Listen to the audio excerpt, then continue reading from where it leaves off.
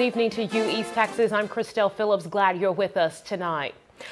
The Huntington Independent School District is inching closer to a new policy that would allow select individuals on their campuses to carry concealed weapons. East Texas News 9's Leah Hughes talked with parents who also happen to be teachers at Huntington ISD.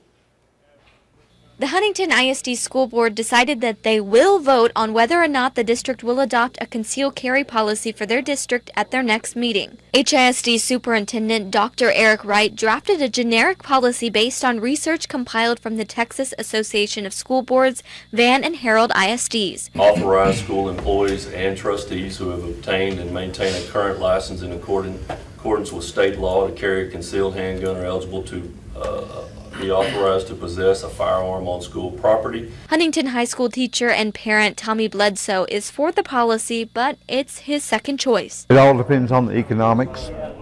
Officers would be great if we could afford them, and if not, we would have to go to the concealed handgun program. But uh, it's going to cost a lot of money to go with officers, and this may be our only way out economically.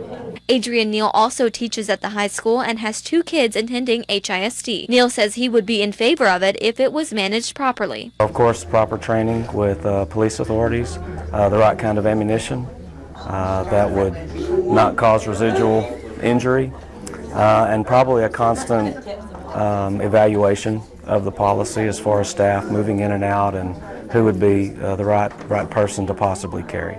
Would you, as a, as a teacher, would you carry a handgun? It wouldn't bother me. It's a big responsibility, but teachers always accept responsibility to defend their children. In Huntington, Leah Hughes, KTRE, East Texas News 9. HISD School Board President Ben Watson made sure to emphasize that if they do adopt the policy, it doesn't mean guns will be on campuses, just that the district has the option to use the policy.